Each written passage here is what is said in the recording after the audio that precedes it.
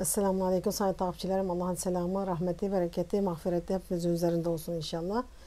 Ee, bugün yine güzel bir tarifle geldim. Buyurun hep beraber yapma aşamasına geçelim.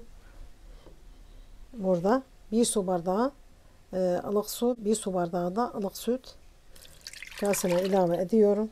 Burada bir tatlı kaşığı maya. Şimdi mayamızı iyice erimesi için karıştırıyorum böyle. Şimdi unumu eleyerek kullanacağım. Burada 4 bardak unum var. Bismillahirrahmanirrahim. Rabbi yessir ve la tuassir. Rabbi temmin bil hayr. Ee, bir çay kaşığı tuz ilave ediyorum ve hamurumu yoğurmaya başlıyorum. Şu an 4 bardak un koydum. Gerekirse daha fazla kullanacağım.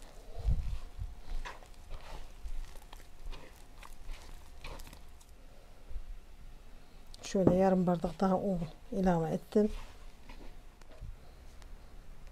Tam 5 bardak un ilave etmiş oldum. Şimdi hamurumu yoğurmaya devam ediyorum. Şimdi hamurumu biraz yoğurdum. Bu şekilde kıvamı böyle. Şimdi üzerine burada 50 gram eritilmiş tereyağı ilave ediyorum. Şimdi tekrar yağını tamamen hamurun içine karışana kadar yoğuracağım. Şöyle.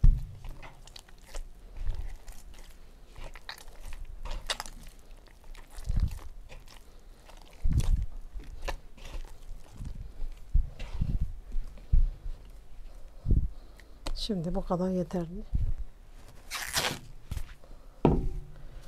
Şimdi sayın takipçi hamurumun üzerine jelatinle kapladım. Yayılması için üzerini kapattım. Görüşürüz inşallah. Şimdi sayın takipçilerim hamurumuz mayalanana kadar e, burada 4 tane e, orta boy patatesim var. Bunları haşladım. Şu an hazır. Çatalla bu şekilde. Benim patates ezici depremde e, nerede kaldı bilmiyorum. Çatalla indirebiliyor. Şimdi çatalla eziyorum. Aynı işlemi yapıyor işte bu. İçerisine bir çay kaşığı tuz. Şöyle. 5 gram e, oda sıcaklığında tereyağı.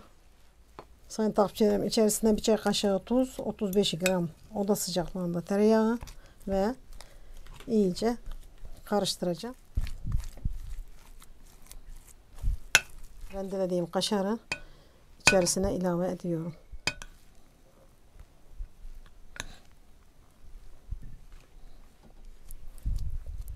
Şimdi bunu iyice karıştırdım böyle. Ne yapıyorum? Üçe bölüyorum. Üçe böldüm. Bu şekilde.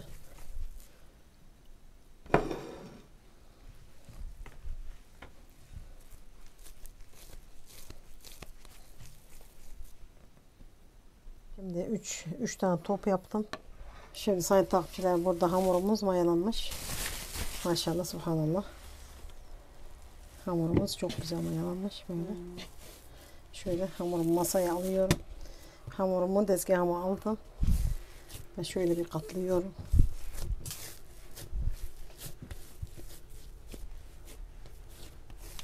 Hamurumuzu şöyle hamurumu üçe böleceğim. Üç tane böleceğim. Bir, iki ve üç. Maşallah.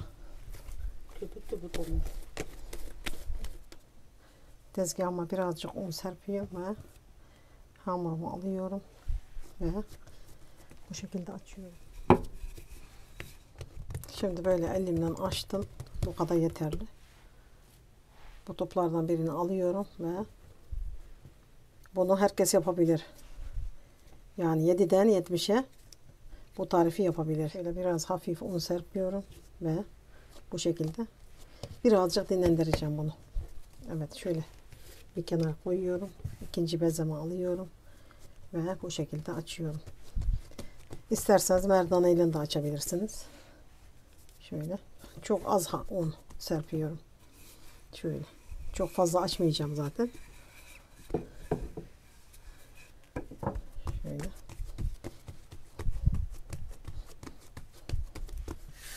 Şöyle bunu da buraya alıyorum. Bu şekilde. Son bezemi. Şöyle altına hafif un. Çok hafif. Tekrar açıyorum. Peki bunu akşamdan hazırlayıp sabah pişirebiliyor muyuz? Kesinlikle. Evet. Buzdolabına koyup sabahleyin pişirebiliriz.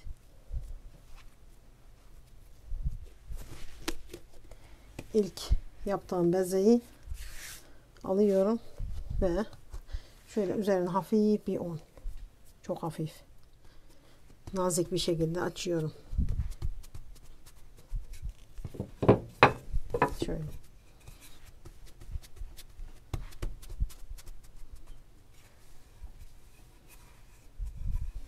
Şimdi bu kadar yeter.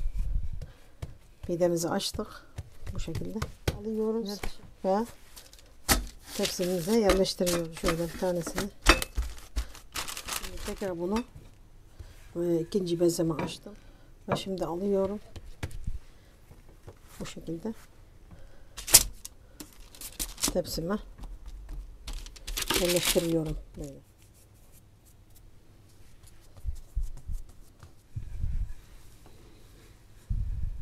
Üçüncü böreğimizi açtık. Böyle yaptığımız böreğimizi fırına 80 derece ısıtılmış fırına veriyorum.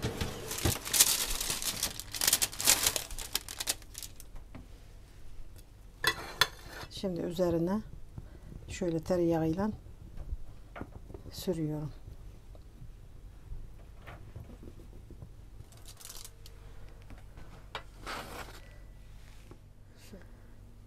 Üzerine böyle sürüyorum.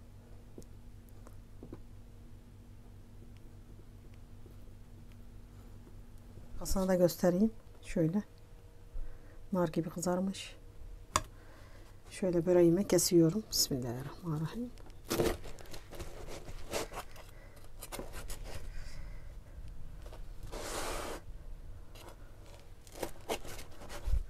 Bence bu pizzadan daha güzel. Şöyle. Maşallah, subhanallah. Şöyle içini gösterebilirim.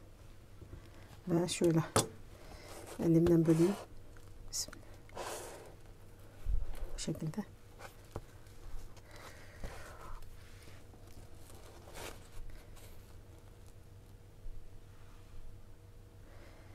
Sayın takipçiler mutlaka bu tarifi deneyin diyorum. Ve bu inanılmaz lezzeti mutlaka yemenizi tavsiye ediyorum. Bu da bu şekilde. Maşallah, subhanallah. Şöyle. Beni buraya kadar izlediyseniz bana abone olmayı, videolarımı beğenmeyi ve videolarımdan haberdar olabilmek için bildirim ziline basmayı unutmayın. Hepinize çok teşekkür ediyorum. Bir dahaki videomda görüşmek üzere. Kendinize iyi bakın. Allah'a emanet olun.